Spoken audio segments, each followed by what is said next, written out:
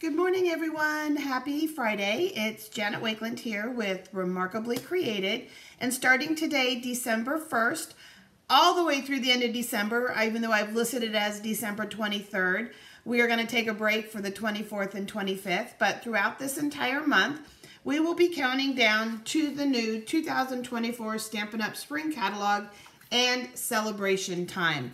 What we'll be doing every day again, except for the 23rd or the 24th and 25th, is we're going to be looking at new product. I'll be sharing some tips. I'll be sharing some reviews, pros and cons based on my experiences using it. Um, we'll look at some samples for inspiration. We may make a card or two throughout this time. In addition to this live video that you'll get every day, there'll be two other posts every day. That gives you three times to comment, to share, whatever, increasing your chances of winning a daily giveaway. The daily giveaway has a little twist. I have this big sleigh over here just filled with all kinds of prizes and we'll restock it throughout um, this countdown period. But the twist on the daily giveaway is, is that when you win a prize, you can pick a friend to receive the same prize as you, provided that they are a follower of my Facebook page. This is a good time to share my Facebook friends with you, or uh, my Facebook page with your friends, because then you can play Santa for them. In addition, there'll just be a third post. Um, so there'll be a post at 9 a.m., a post at 3 p.m., and a post at 9 p.m. One will be a Facebook Live. One will just be kind of a fun engagement post, um, things like our Saturday Smile, and then lots of fun little um, things related to the holidays. And then one will be one of the samples and or a tip related to what we showed in the live. So let's go ahead and let's slide this video over. And I am not necessarily going to go in order from front to back in the catalog just because my initial pre-purchase of new product were random selections from the catalog. On December 5th, I will be able to do another pre-order from this catalog, picking up the things that may help me get back on track to putting it in order. One of the things in the post early this morning was this handout here. It's done as a JPEG. Simply right click on it, save it to your computer, and you can print it out. And you can use it to take notes based on what you like, don't like, little crafting tips, color combinations, whatever it is that I share throughout the month. And you can print this as many times as you need. And um, if you have questions at all, this would be a great place to make notes of questions that you have so that you can ask them and then make sure that they get answered. If you're new to my page, welcome. I am so excited that you are here. Uh, make sure that you like and follow so that you don't miss any of the fun this month. Um, in addition to the sneak peeks, we will be incorporating some of the products that are retiring that we are saying goodbye to.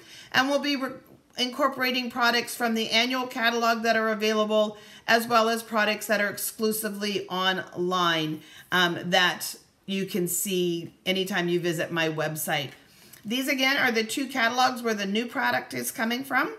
And if you don't have a demonstrator here in the United States that sends you a catalog and that you work with, please make sure that you message me um, with your address and email and we will make sure to put you on my list.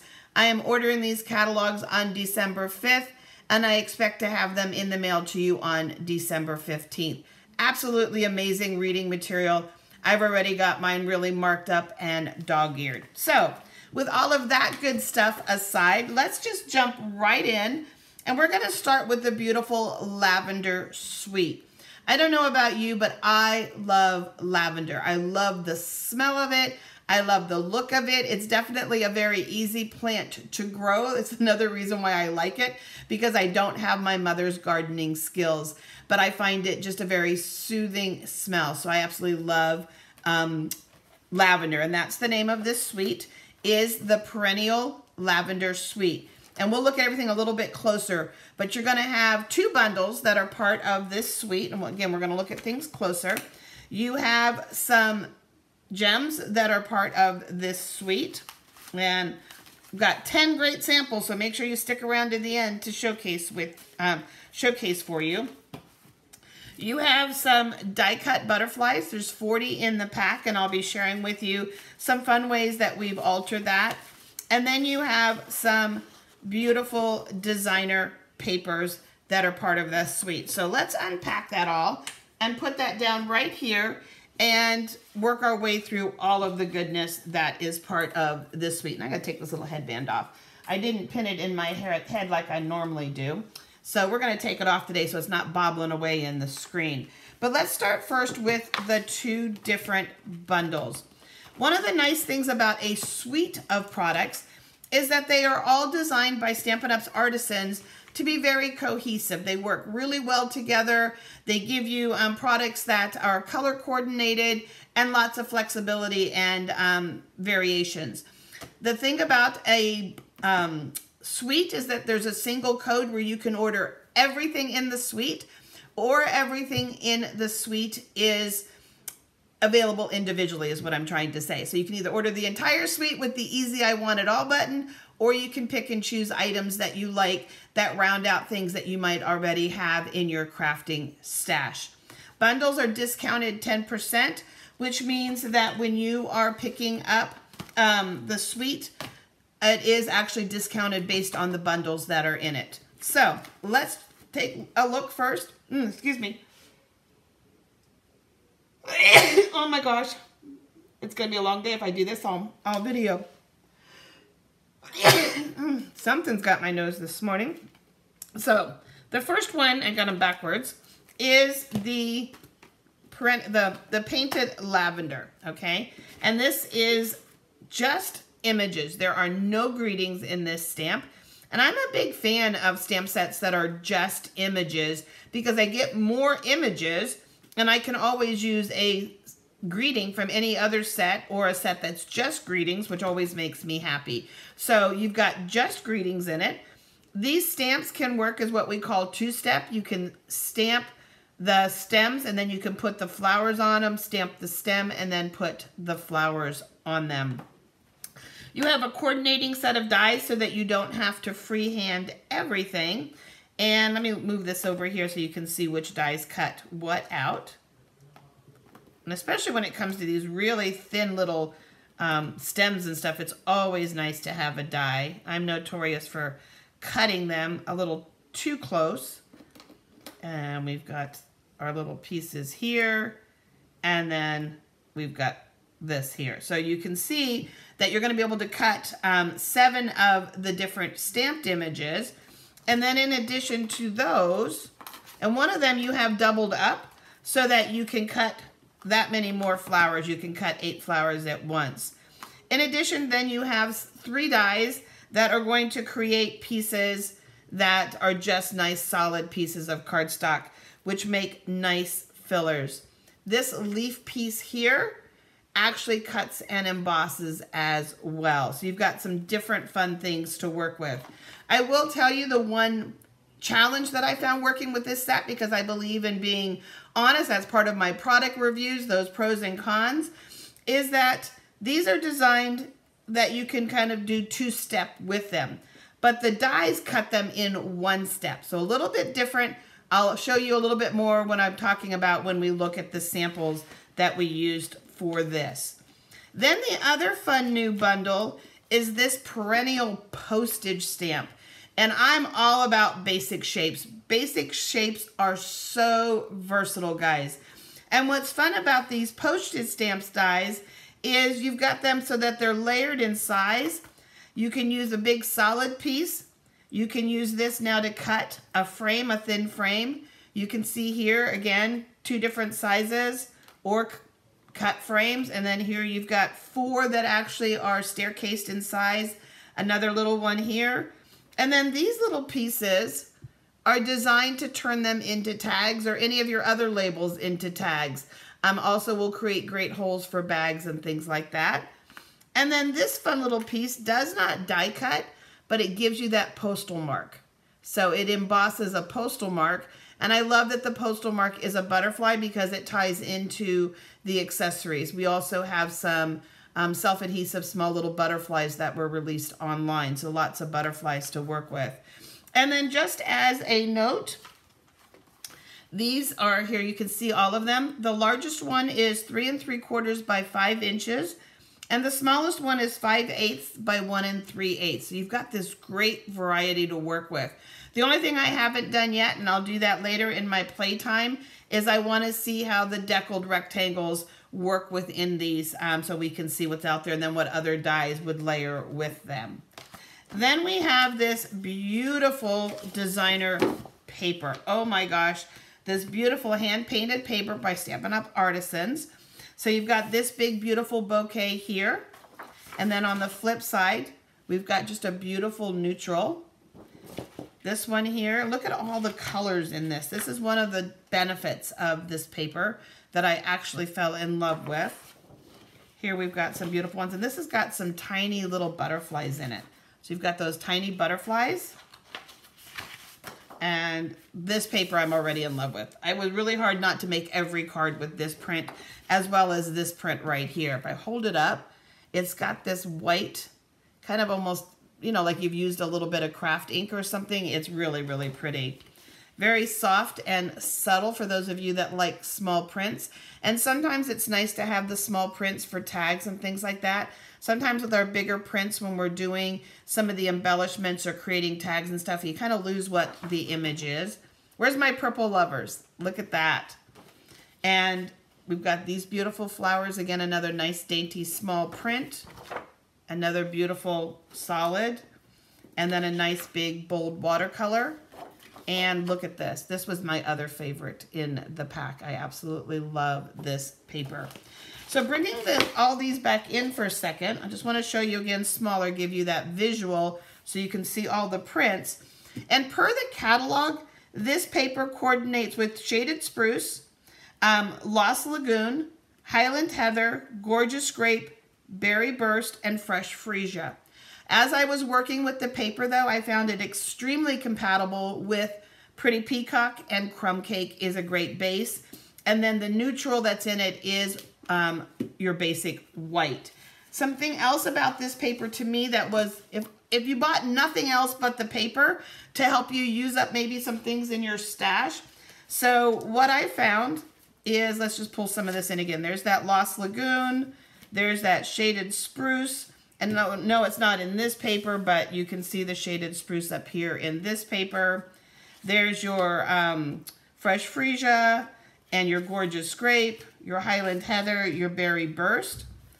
And then the Pretty Peacock, I think, really pulls those in, and you'll see that in the sample. And then your Crumb Cake.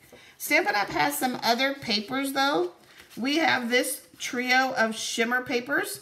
That is Gorgeous Grape, Pretty Peacock and then Petal Pink. And you're going to have those two exceptionally well matched to the paper. And then Stampin' Up! has these soft shimmer papers. Can you see that little? This is Fresh Freesia.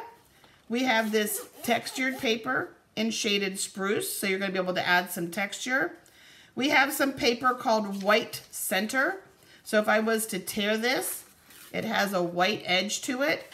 And there Two of the pieces in the pack are Berry Burst and Fresh Freesia. So again, more complementing papers. And then back to that soft shimmer.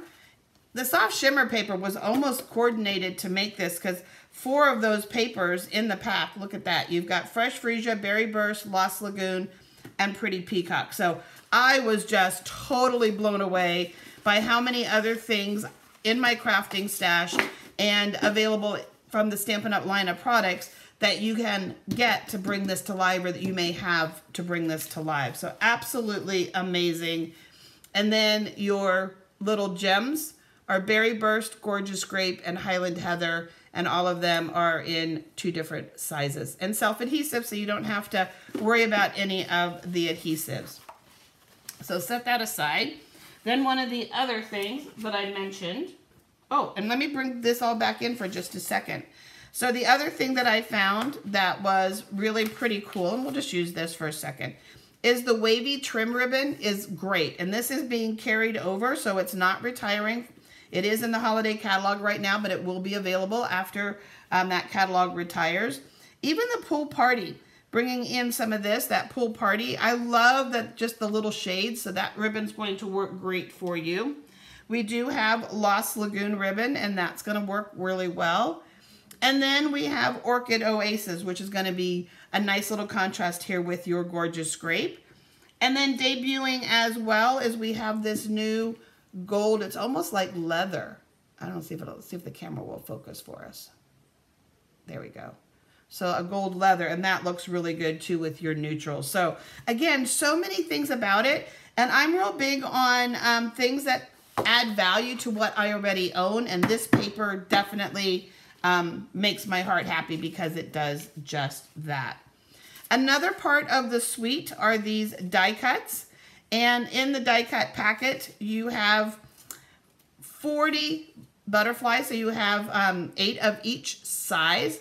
They are double-sided white, so you can change the directionality of your butterfly. So that's a big positive. So your butterfly doesn't always have to face this way because it's white on both sides.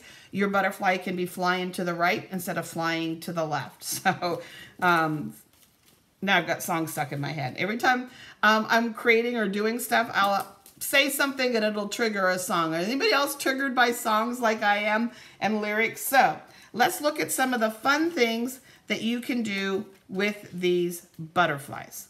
So first, just press them down into your Versamark and then put gold embossing powder on them and make yourself some beautiful gold butterflies. Of course, you could do silver, you could make shiny black butterflies, you could do copper, or whatever other color you have. You can use blending brushes, and in this case, I started with um, Bubble Bath in the center, Highland Heather, and then I, I went out to the darker um, Gorgeous Grape. So I just used the, the small blending brush and added three colors to them. You can simply just color them with your blends or color them with your ink pad. Another way that you can color them is by spritzing them. It'll give you more of a watercolor look. Or you can actually do that same look by using our water painters and just kind of brushing the color across, um, getting kind of that depth and variation. And then what's fun as you work with all of your butterflies is if you keep a piece of cardstock underneath of you as you work. So in this case, I laid the largest butterfly down. I think it's on a card, or is it this one? Nope, it's on a card. And I used the water painter brush, and then I pulled out, kind of creating like a burst around my butterfly. This one was a little more challenging, and I'm not sure yet. I got to play with it just a little bit more.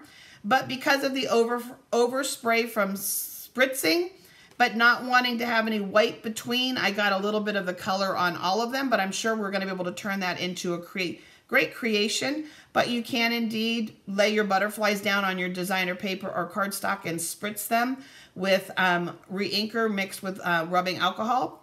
And off you go. And did I have one more for you? I think the, oh, yep, I have one more. And then you can also just use your blending brushes. So in this case, I started, blended, moved, took that one off, moved it up, and just kept working my way up. And this is the byproduct of the one that was left. So twofer. Now I have a pretty border to put on a card, and I have that.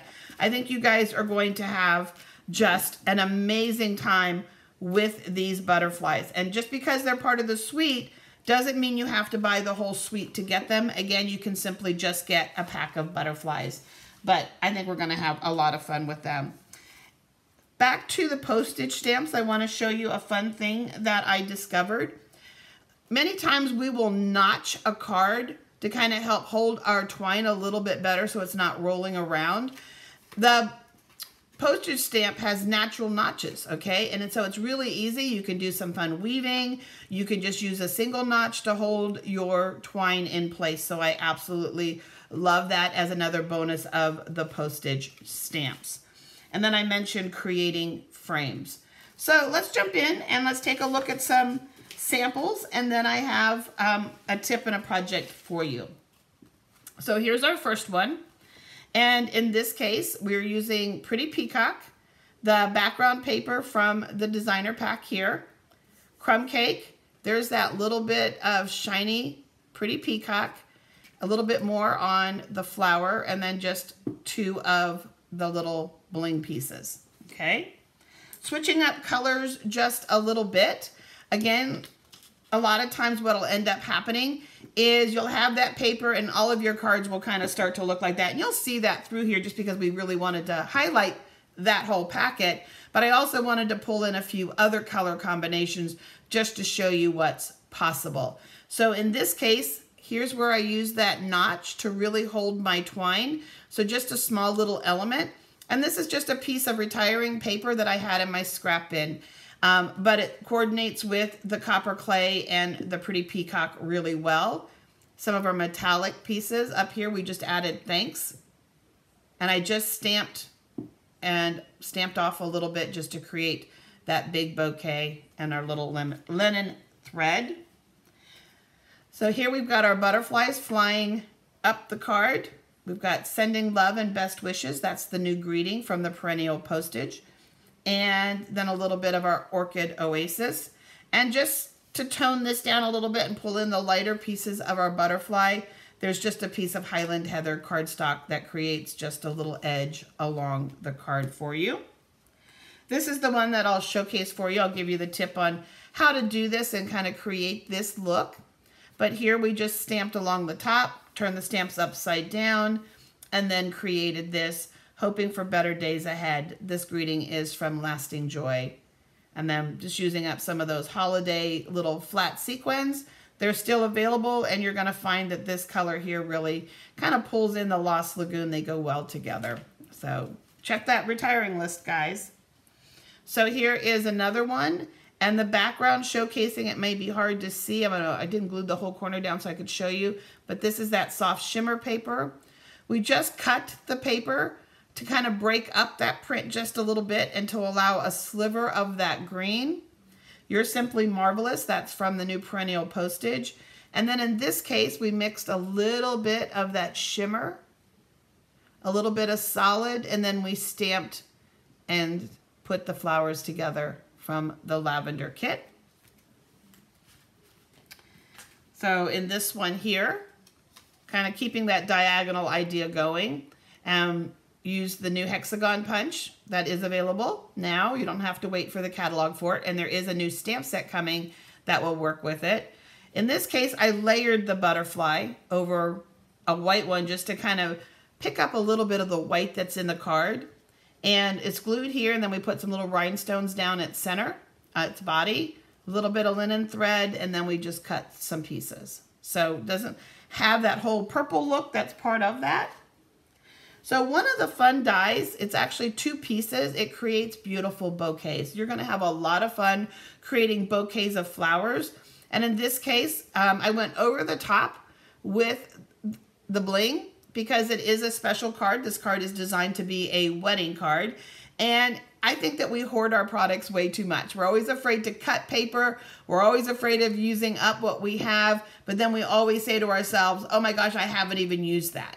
So I'm trying to personally in my own craft room stamp out that I haven't even used that. I want to be using my product and I want that guilt-free shopping buying new stuff because that little voice in my head is say isn't saying, "Oh, you've never used that." So always and then may the years ahead be filled with lasting joy. Lasting joy is the name of the, the greeting set there. Then this is that paper that is part of the set bring that in. That's this paper.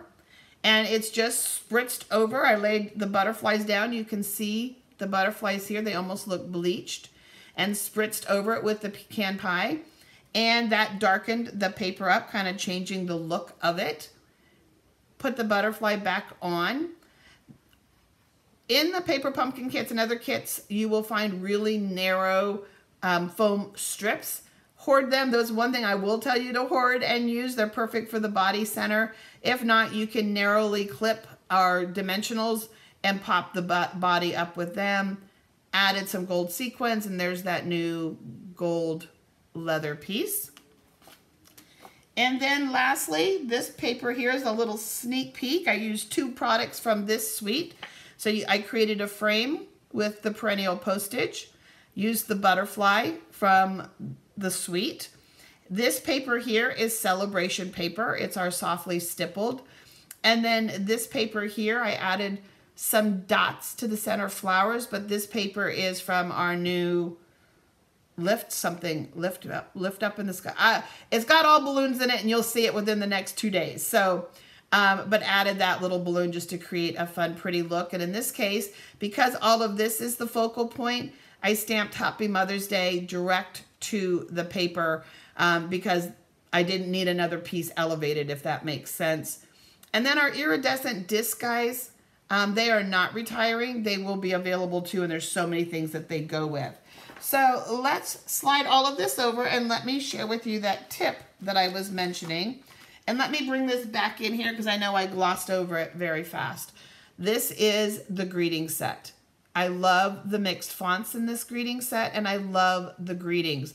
This one you are loved beyond measure. There's a measuring tip tape in the Rusty Toolbox, so you can definitely use that with that. Um, you mean the world to me. We have that big world background stamp.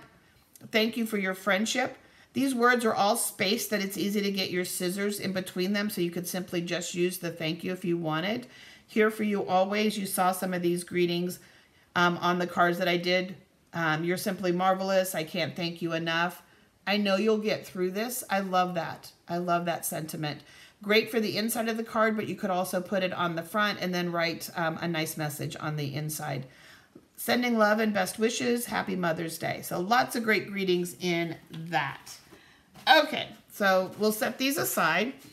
And as my time allows while we're going through this um, countdown, I will be working to share with you um, these samples, posting them in an album up under photos. But don't be looking for them in the next um, day or two. And right now I'm working on creating the samples for the first week of showcasing um, the countdown. But as like I said, as my time allows, then we will go to it.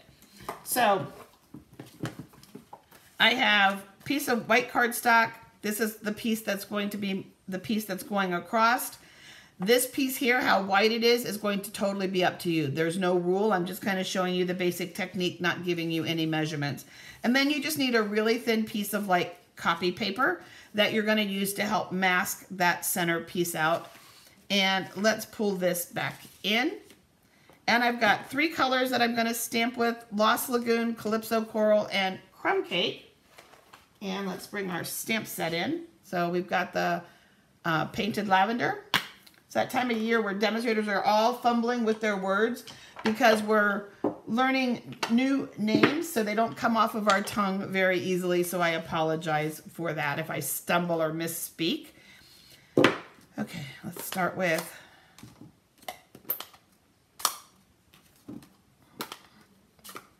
Okay, let's start with our background piece. And I'm going to use some leaves for that. So, and in this case, I'm only putting ink on the top part because I don't want ink down here below. And you will have a little bit of a line. Well, hold on a second. This is not going to work the way I want it to. So let's just fold this piece of paper up. This is also a good use of your grid paper. So we can just fold that up. Take advantage of that grid paper that you have handy. Let's go back in this. Just make it easier and right here.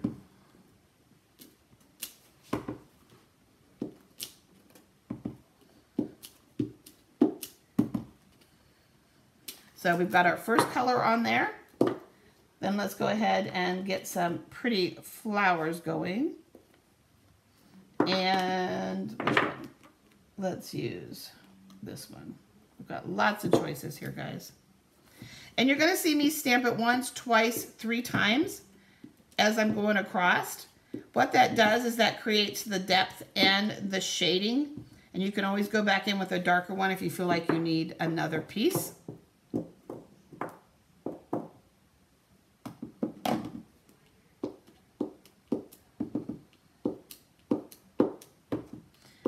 So I'm going to go all the way to the edge.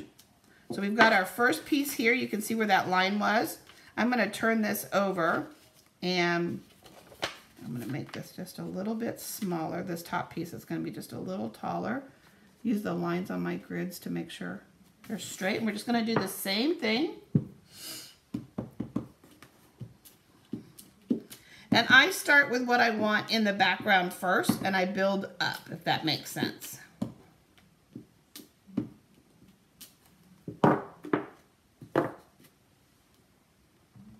So it's not necessarily lightest to darkest because the crumb cake is definitely lighter than my Lost Lagoon. But it's, for me, it's background up, back to, back to top, bottom to top. You want to make sure that you give a nice firm press. So you've got a piece that looks like that with a piece that's open in the center. That is where, like I could simply go ahead and stamp right in there if I wanted. I don't have to layer another piece on it if you don't want to. You could just simply now be done and put your greeting in that center opening and it really makes that greeting pop and has a pretty look.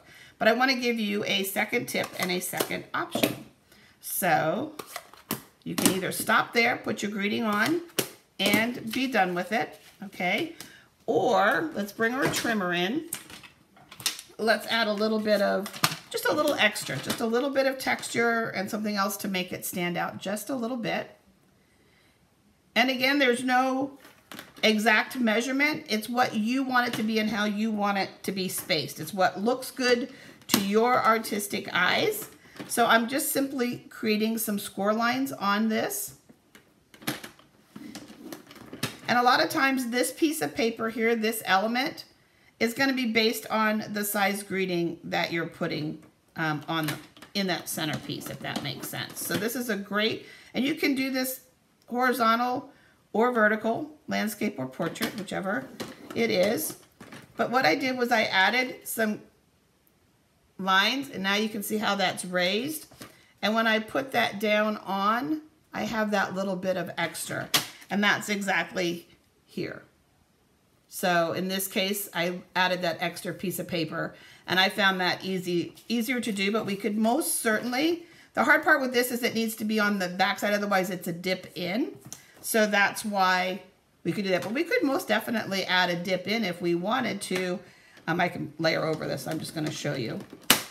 So using that scoring tool and those scoring attachments in different ways definitely again are going to add that value. So now I could still just add my greeting and some pieces. And now you have one that's dipped in with no layers, one that is raised up and it's just a basic white layer. So have some fun. This is a great technique with any and all of your stamps. It's a great way to bring some colors in together and have some fun, guys. So anytime you have any questions at all about anything that I've showcased, please ask them below. Um, if you're shy about commenting below, then message me your question. Uh, but don't forget that there are three posts. There'll be a post at 3 o'clock this afternoon, another one at 9. The, the more that you engage, the greater chances that you have of winning our daily prize.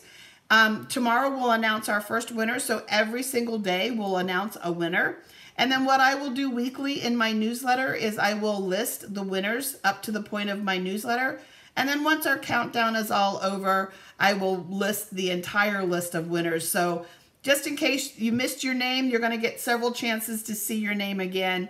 And if you see your friend win, guys, be a friend. She might or he might pick you, okay, to be their, their prize buddy. So make sure you say, hey, guess what? Janet just announced your name when you see that happening. So I'll see you guys tomorrow with some fun products on a Facebook Live.